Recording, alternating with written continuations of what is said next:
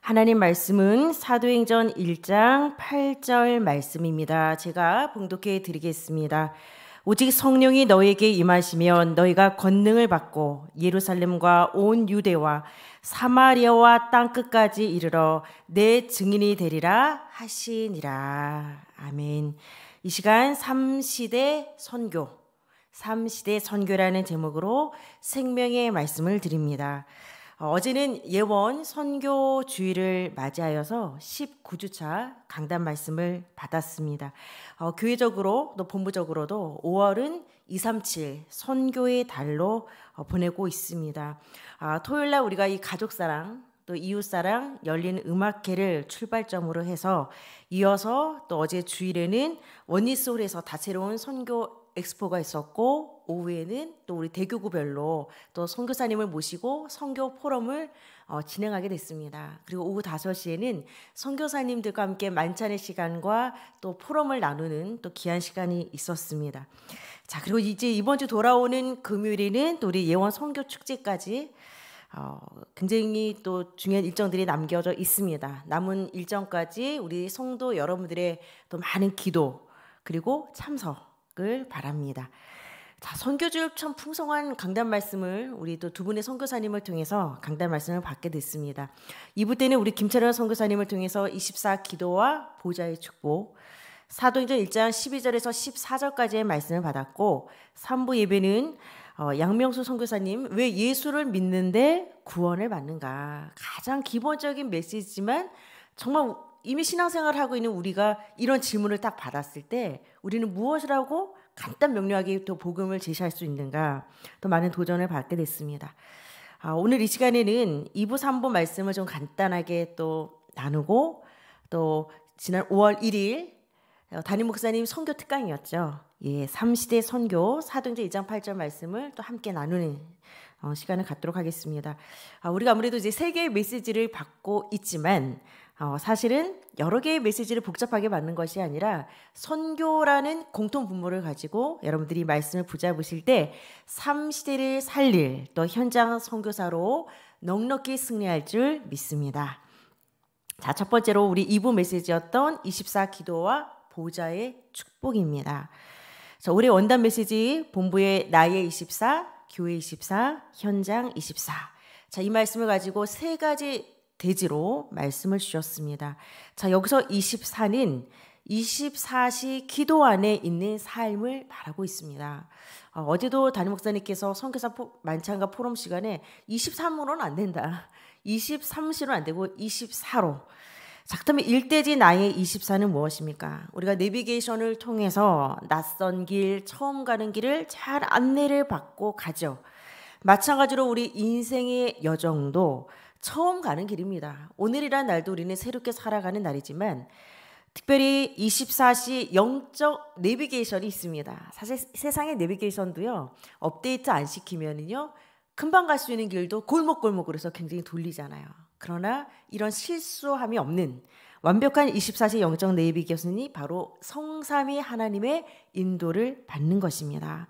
자, 언약의 여정을 걸어갈 때 있어서 가장 좋은 내비게이션, 언약 따라가는 겁니다. 성삼위 하나님의 인도를 받는 거. 자, 우리가 내비게이션 집중하지 않고 무시하고 가면 계속해서 우리가 딴 길로 헤매듯이 우리가 기도와 말씀에 집중할 때는 보좌의 축복과 절대 불가능도 가능으로 체험을 하게 되지만 순간 말씀 놓치고 기도 놓치고 집중을 놓치게 되어지면 우리의 마음과 생각을 빼앗기게 될 수밖에 없습니다. 자, 따라서 언약의 여정을 가는 데 있어서 우리 개인이 반드시 누려야 될 거는요. 언약 안에 있는 자는 모든 것이 합력하여 선을 받는 선을 얻는다. 예, 요거 그냥 딱 붙잡으시면 됩니다. 언약 안에 있기 때문에 이미 열크 안에 들어와 있습니다. 그럼 문제 오면 답을 찾으면 되고 갈등 오면 갱신의 기회가 될 것이고 위기가 왔으면 또 하나님의 능력을 체험하는 기회가 될 줄 믿습니다. 또 고난과 광야 같은 시간이 있다 하더라도 그 부분까지도 하나님은 합력하여 선을 이루시고 내게 유익이 되는 시간으로 그래서 어떤 것도 언약 안에 있는 자에게는 문제가 되지 않는 것입니다. 자, 그렇다면 나의 24를 넘어 이제는 교회 24. 교회 24의 모델이 누구냐? 바로 초대교회를 말씀해 주셨습니다. 지금처럼 뭐 좋은 건물 하나, 뭐 좋은 프로그램 하나 없지 않았습니까? 근데 가장 좋은 영적 시스템이 있었습니다. 그것이 바로 24 기도의 비밀을 누리고 있었다라는 거. 오로지 기도에 힘썼을 때 마가다락방에서 로마까지 세계 복음화의 플랫폼이 되었다라는 것입니다. 또한 중직자들에게도 빛의 경제를 회복시켜 주신 거죠. 이 시대 중직자를 향한 하나님의 소원은 237 나라를 살릴 성전, 렘넌트를 살릴 그 성전을 세우는 응답을 특히 우리 중직자들이 또 누리시기를 바랍니다. 어, 담임 목사님께서 우리 선교 특강 이따 제가 또 말씀을 드리겠지만 선교지에 있어서 선교사님들에게 가장 든든한 백그라운드는 우리 예원의 본당이 든든히 서 있는 것입니다. 선교사님을 파송하는 이 복음의 센터가 되고 본당이 우리 예원교회가 이 베이스로서 탄탄할 때 선교사님들에게 있어서는요. 어, 일단은 지원도 할 수 있지만 굉장히 여러분 이 백그라운드 무시 못합니다. 일단 현지인들이 선교사님들을 무시 못하는 거예요. 그냥 동양에서 온 그냥 뭐 하찮은 뭐 선교사님 한 명으로 보는 것이 아니라 그 배경인 교회를 보게 되어 있거든요. 딱 우리 캠프팀이 갔다. 이건 뭐 엄청난 기도 부대가 가는 거죠. 빛의 군단들이 함께 하는 거고. 그리고 와서 우리 예원교회와 이 시스템과 성도님들과 이 예배 모든 것들을 보고 가는 순간 여러분 절대 그 선교사님 한 분으로 보지 못합니다. 제가 캠프 가면서 진짜 많이 느끼거든요. 그래서 여러분 이 파송하는 교회의 베이스가 탄탄할 때 롱런으로 우리가 이 선교를 갈 수 있는 겁니다.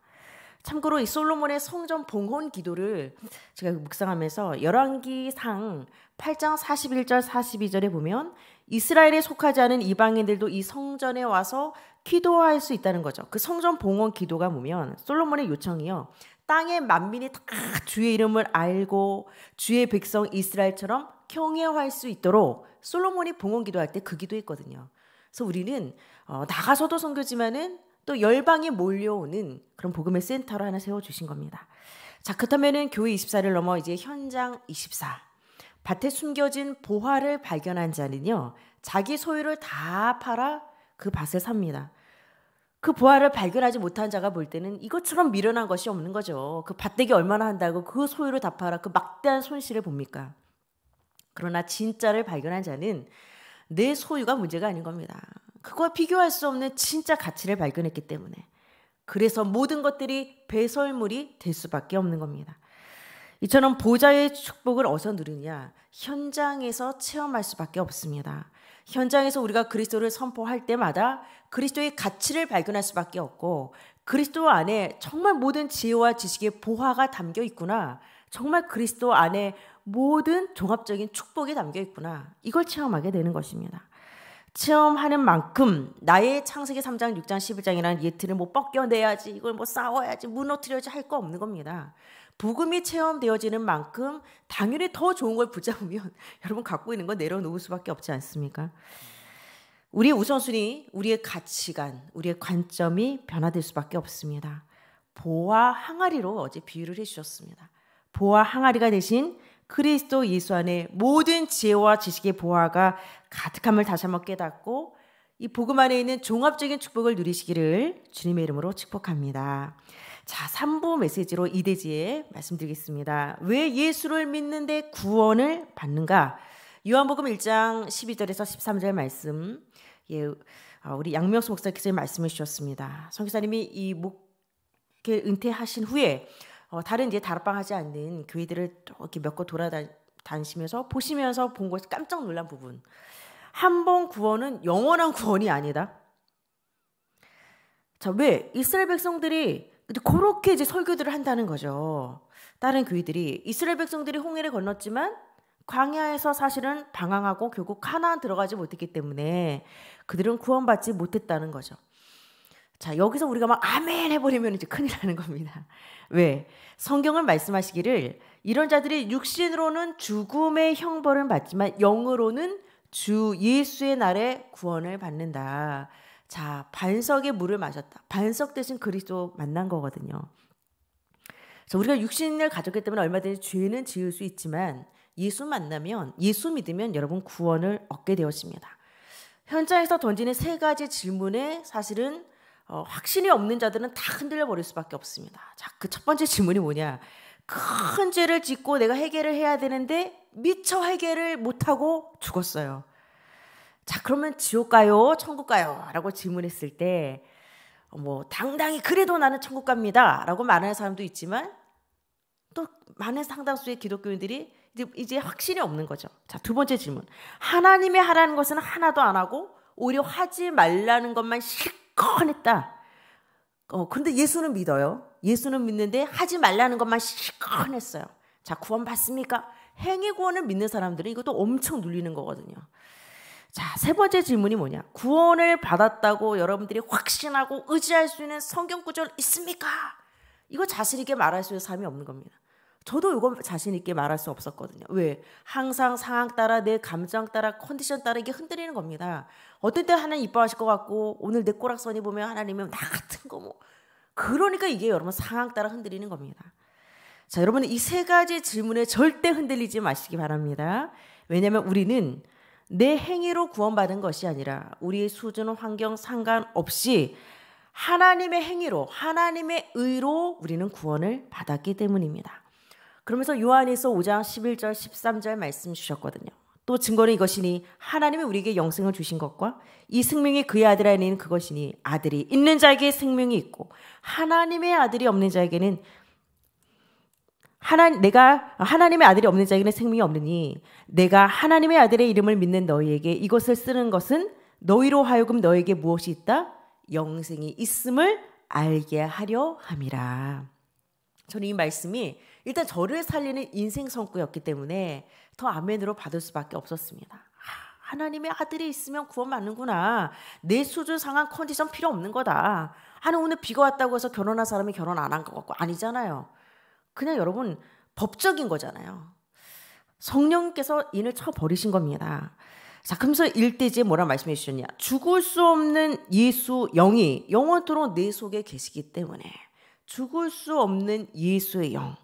그러면서 가장 핵심적인 성구로 고린도서 15장 45절 말씀해 주셨습니다. 기록된 바 첫사람 아담은 생명이 되었다 함과 같이 마지막 아담은 바로 예수 그리스도를 말하고 있지 않습니까? 살려주는 영이 되었나니 바로 예수님은 죽어 있는 나의 영혼을 살려주신 살아있는 예수 영이 들어온 겁니다. 때문에 우리가 영접이 됐다는 것은 이제 새 생명이 들어온 것이죠. 자, 죄를 짓지 않는 것이 아니라 이제는 점점 성화되어지는 삶으로 변화되어지는 것입니다. 공허와 혼돈 어둠 속에 있던 내 안에 그리스도의 빛이 임하면은 이제 조금씩 이제 질서를 잡기 시작하는 거죠. 절대 방종으로 갈 수 없는 겁니다. 그래서 영접하는 자, 곧 그 이름을 믿는 자, 영접과 믿는 자라는 이 두 단어의 원어 헬라어 πίστις. 자, 같이 가는 거죠. 예수 영을 영접하면 성령께서 이제 도와주시니까 믿어지는 겁니다. 우리가 영접을 잘하고 잘 고백해서 하나님 자녀 되는 것이 아니라 믿어지게 하는 것도 하나님의 은혜인 줄 믿습니다. 자, 그래서 진짜 거듭난 성도인지 아닌지 알 수 있는 두 가지 잣대. 정말 이웃 성김이 몸에 배어 있냐? 저 내가 구원받은 감격이 있으면 어떻게 영혼에 대한 관심이 없겠습니까? 참 평강, 참 자유, 참 기쁨, 참 자유를 내가 누리고 있냐? 이 두 가지 잣대를 한번 여러분 점검해 보시기 바랍니다. 작사 영접은 굉장히 중요한 포인트를 말씀해 주셨어요. 사랑의 하나님 아니다. 조금 더 정확한 표현은 사랑의 주 예수님. 왜 아직은 하나님을 만나지 못한 상태이기 때문에 그러면서 내가 죄인임을 압니다. 압니다. 그리고 내 죄 대신 죽으심을 믿습니다. 그리고 내 죄를 회개합니다. 키워드가 뭐죠? 압니다. 믿습니다. 회개합니다. 예, 이 세 가지 중요한 단어가 어, 이 영접을 하는 데서 중요한 키다라고 말씀해 주셨습니다. 자, 그러면서 이디지의 법적으로 의인으로 재판받아 구원받았다라고 말씀하고 있습니다. 이사 1장 18절에 오라 우리가 서로 변론하자 법정 단어로 쓰고 있습니다. 법정 용어로 쓰고 있습니다. 하나님 나라 이 하늘나라의 법정에 법조문을 펴놓고 한번 따져보자. 우리는 아무 말도 할 수 없는 죄인인 거죠. 유대인들이 죄의 제목들을 붉은 글씨로 기록하다 보니까 당연히 우리 죄가 진홍같이 붉다, 주홍 같다라고 표현하고 있지만 예수님의 대속으로 말미암아 흰 눈같이 양털같이 희어진 겁니다. 자, 그래서 다시 한번 말씀드리면 예수님을 영접하면 죽을 수 없는 예수의 영이 들어와서 우리가 영생을 얻게 되고 법적으로 의인이 된 줄 믿으시기를 바랍니다. 그래서 우리가 할 거 마태복음 24장 14절 말씀처럼 천국 복음이 모든 민족에게 증언되기 위해서 온 세상에 전파되리니 그제야 끝이 오리라. 세계 복음화의 그 시간표까지 우리가 70인 제자로 70 지교회를 위해 70 나라 선교에 매진하는 우리 성도님들 되시기 바랍니다. 예수님의 공생의 사역의 육적 사역, 영적 사역 또 세 가지 말씀해 주셨습니다. 영적 3대 사역이 뭐냐? 삼중직적 사역이죠. 참 제사장적, 참 선지자, 참 왕적 사명을 감당하신 거죠. 그럼 예수님의 육적 사역이 무엇이냐? 티칭, 프리칭, 힐링. 가르치시고 전파하시고 코치시는 회복하시는 사역을 하셨습니다. 그것이 바로 우리 교회가 해야 될 사명이고 나가 복음 받은 정말 하나님의 자녀들의 미션인 줄 믿습니다. 여러분께서 이제 하나님 나라 법정에 의인으로 재판을 받은 자로 오직 예수 이름만 전하는 또 성교의 주역 되시기를 주님의 이름으로 축복합니다. 자, 이제 세 번째 대제로 3시대 성교. 예, 우리가 5월 1일 어, 주일날 이 말씀을 받았었습니다. 담임 목사님 성교 특강 통해서 자, 오늘 선교사님 여러분 중국 지하교에서 예배드리는데 100절까지 되는 찬송가 부릅니다. 야, 이거 뭐 몸부림치면서 간신히 불렀는데 찬양 인도자가 분위기가 너무 성령 충만하니까 한 번 더 부릅시다. 우리는 어땠을까요, 여러분? 벌써 여러분 찬송가 딱 펼쳤을 때 5절까지 나온 찬송가 두 번만 불러도 살짝 짜증 나기 시작하잖아요. 우리가 노래방 가서 한 시간, 두 시간은 언제 시간 가는지 몰라요. 너무 즐거워요. 근데 왜 찬송가를 부르는데 이렇게 짜증이 난다. 이게 우리 창세기 3장 체질 아닙니까? 복음이 갈급한 현장은요, 말씀을 받고 찬양을 드리는 영적 자세가 다른 겁니다. 목사님께서 이 중국 신학교 특강 하시면서 아멘 하는 소리 자체가 다르다. 말씀해 주셨잖아요. 근데 저도 이 중국 신학교 강의를 간 적이 있었는데 진짜 다릅니다, 여러분. 이분들은 신학교를 우리가 보통 한 학기를 가면 이분들은 한 학기까지 갈 수가 없어요. 그냥 한 주 안에 끝내버려야 돼. 한 학기 수업을. 그러면 이제 2박 3일 내일 기차를 타고 오셔요. 내일 기차 타고 와요. 피곤한 상태로 오면 2박 3일 동안 거의 화장실 가는 시간 빼고는 집중으로 여러분 말씀 왔습니다. 아멘이 달라요. 깜짝깜짝 놀고 강의를 하는 강사가 오히려 더 힘을 얻고 그러면서 공안이 언제 닥칠지를 모르잖아요. 그러니까 정말 이렇게 해요. 하는데 불이 훅 나가버리더라고요. 또 메시지 하는데 불이 꺼져버려. 얼마나 제가 다 마이크도 나가고 불도 꺼지고 깜깜해. 그런데 아무도 요동하지 않아요. 저만 요동해요. 그 촛불 하나 켜놓고 우리가 메시지 하는데 그분들은 놀라지도 않아. 그냥 또 꺼졌냐 뭐 이런 분위기. 그러면서 여러분 아멘이 다르고요. 말씀을 받는 자세가 다릅니다. 뜨겁습니다. 뜨겁습니다. 그러면 참 많은 걸 생각하게 되더라고요. 너무 좋은 자리에 앉아서 이 복음을 우리는 너무 누리고 있지 않냐. 우리의 불평불만이 그냥 사치로 느껴질 정도로 굉장히 많은 은혜를 저도 받고 왔습니다. 자, 70제자 70지요. 70종족과 70나라. 제25회 세계 선교대의 주제였던 것처럼 제지종나로 여러분 기억하시기 바랍니다. 제지종나. 자, 이 70이라는 숫자는 내가 끼칠 수 있는 영향력이다. 목사님 말씀하셨습니다. 70명에게 영향을 끼칠 수 있을 정도로 내가 개인화돼야 되고 내가 70지역에 영향을 줄 수 있을 정도로 현장화돼야 된다라고 정리해 주셨습니다. 이러한 영적 영향력이 합쳐지다 보면 70 종족으로 70 나라로 나가 237 나라 5총 종족 복음화로 이어질 줄 믿습니다. 자세히 70이라는 숫자 자체가 사실은 뭐 몇 명이 중요한 건 아니지만 사도 외에 평신도 직분으로 예수님께서 직접 부르시고 훈련시키고 파송시킨 영광스러운 직분. 누가 보면 10장에 나와 있지 않습니까?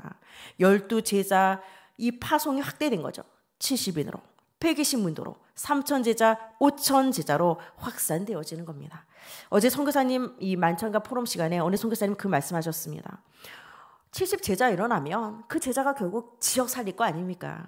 그럼 70지역이 살아나면 70종족이 살릴 거고 70종족이 살아나면 결국 70나라 살릴 거 아닙니까? 아멘 받았습니다. 중요한 건 70나라 막연하게 보지 마시고 나부터 70제자의 응답을 누리시기를 바랍니다. 그래서 목사님께서 3시대 소수 집중 시대 중직자 시대 부교역자와 remnant 시대 이렇게 해서 세 가지 어, 중요한 시대 말씀을 주셨습니다. 소수 집중 시대 선교의 주체 하나님 이거 놓치는 겁니다. 그래서 우리는 반드시 하나님의 선교가 우선순위 될 때 하나님께서 그 선교지를 축복하시고 그 선교사를 쓸 수밖에 없습니다. 하나님의 선교 운영은 이미 성경에 끊임없이 나오고 있습니다. 창세기 12장 3절에 땅의 모든 족속이 너로 말미암아 복을 얻을 거야. 네 씨로 말미암아 천하 만민이 복을 받으리라. 성경에 이미 다민족, 다인종, 다문화 비전이 담겨 있습니다. 성경서 일곱 렘넌트 이 소수를 통해 하나님 시대를 살리셨고 시대 시대마다 언약 잡은 창조적 소수 바로 우리 예원의 성도님인 줄 믿습니다. 이런 자부심 가지셔야죠. 하나님 선교의 열정을 가진 남은 자 되게 하시고 말씀을 체험하는 남는 자로 일어나 빛을 비추는 남을 자로 만민을 돌아오게 하는 남길 자의 축복을 누리게 하여 주시옵소서. 여러분 고백하시고 영적으로 거룩하게 여러분 욕심 내시기 바랍니다. 어, 잠시 믿음으로 어제 우리가 저희 강서 일대 교구는 이제 칠레 김학영 선교사님과 선교 포럼을 하게 됐는데요. 인터뷰 방식으로 어, 미리 지금 질문지를 드리고 좀 진행을 하게 됐는데 이 남아메리카의 칠레는 아시다시피 남북으로 굉장히 긴 나라인데 서울 부산이 한 389. 킬로미터니까 한 400km가 안 되잖아요. 근데 칠레는 남북 길이가 4,000km. 근데 이제 사실 엄밀히 따지면 이제 7,000km인 거예요. 그러면서 보통 이제 버스로 뭐 어디 이동하려면 보통 33, 4시간. 뭐 지진 때문에 사실 기차도 깔 수 없는 나라. 버스 안에 휴게실도 있고 버스 안에 화장실도 다 있어요. 그래서 쭉 그 얘기를 하시면서 자, 칠레 가기 원하시는 성도님들 손 드세요. 여기서 우리가 막 한 100명이 확 손을 들었어야 되는데 막 다들 허허 거저 웃지요. 막 이런 분위기. 아, 근데 remnant가 저 갈래요 그러더라고요. 그래서 우리 사진 찍을 어 내 remnant 너 나와 해서 그 remnant 세워놓고 사진 찍었다니까요. 아, 그래도 remnant 세대가 선교에 또 하나님께서 차세대 remnant, 아, 차세대 remnant다 이러면서 우리가 어제 같이 사진 찍었는데 참 감사하더라고요. 선교를 흉내만 내도 정말 축복이라는 것처럼 선교사님 그 인생 자체가 너무 존경스러웠어요. 예. 정말 단기 선교 뭐 잠깐 캠프 다녀올 수 있지만 34년이라는 시간 동안 나를 환영하지도 않고 반기지 않았던 그 문화 속에서 어찌 보면 한국인도 아닌 칠레인도 아닌 그 정체성 혼란 속에서 그 현장을 버텨 오신 거잖아요. 진짜 존경스러웠습니다. 자, 이러한 미션을 우리가 감당할 수 있는 거. 강단 흐름과 소통하면서 우리에게 주어진 영적 기회를 확실히 여러분 붙잡으시기를 바랍니다. 자, 그러면서 중직자 시대 말씀해 주셨거든요. 그냥 중직자가 아니라 로마서 16장 선교 중직자로 목회자가 강단 선교사라면 바로 중직자와 평신도는 현장 선교사다라고 말씀해 주셨습니다. 237 선교 플랫폼을 구축하기 위해서 이제 우리가 237 237명의 장로님을 세우는데 어제 선교 만찬 때 목사님 굉장히 뜨끈뜨끈한 말씀을 해 주셨어요. 한꺼번에 237명을 사실 세울 그 말씀 그, 그 출발을 했는데 어, 중요한 거는 한꺼번에 237명을 세우는 것보다 지금 본부나 또 우리 교회적으로 이미 파송된 나라들이 있고 우리가 품고 기도하는 나라들이 있잖아요. 자, 그 나라들을 중심으로 1차적으로 중직자들을 먼저 세우고 237명을 한꺼번에 세우는 게 아니라 앞으로 한 명 한 명씩 세워가면서 이제 청사진을 품는 거죠. 237 중직자를 품고 이제 세워 나가는 겁니다. 자, 그러면서 3대지로 부교육자와 remnant 시대. 부교육자는 one team maker다. one team 뭐죠, 여러분? one-man team은 한 명이 잘 뛰어서 잘하는 겁니다. 한 명만 딱 튀는 거죠. 그 한 명이 그 팀을 살리는 거. 그런데 one team은 그 팀원들이 모두 다 함께 oneness를 이어서 그 팀을 살리는 거거든요. 이게 중요한 겁니다, 여러분. 그래서 제가 늘 말씀드리잖아요. 한 명이 100만 원 헌신한 것보다 10명이 10만 원씩 100만 원 하는 거. 똑같은 결과지만 10명이 함께 동참하는 one team이 중요한 겁니다. 그래서 부교육자는 모든 사람을 함께 섬기고 소통하고 영적으로 해방시키는 영적 엑소더스 삶을 사는 거. 자, 그다음에 remnant 때 뭐냐? remnant 요셉 다니엘 공통점 다 노예고 포로였어요. 그러나 그 포로로 끌려간 그 현장 속에 결코 포로가 아닌 영적 summit이고 그 현장을 세계 살릴 플랫폼으로 만든 겁니다. 아, 자, 어떤 상황에서도 우리 성경 속에 remnant들이 누렸던 이 보좌의 축복을 체험하고 우리 성도 여러분들 역시 선교의 기대주인 우리 remnant를 또 세워나가는 선교의 에이스 되시기를 주님의 이름으로 축복합니다. 자 결론으로 목사님께서 어, 영어 표현으로 out of the box가 뭐죠? 박스에서 벗어나라. 틀에 박힌 사고방식, 고정관념, 진부한 아이디어, 옛 틀 내버려라. 어제 그 말씀 하셨습니다. 성교라는 환상을 주고 우리 예언교회 세웠다. 지난 35년을 하나님이 기다리게 하셨다. 이제 드디어 그 시간표 왔다는 거죠. 가슴 뛰더라고요. 2023년 내년 그 선교의 원년을 우리가 준비해 그걸 올해 다 깔아놓는 거 아닙니까?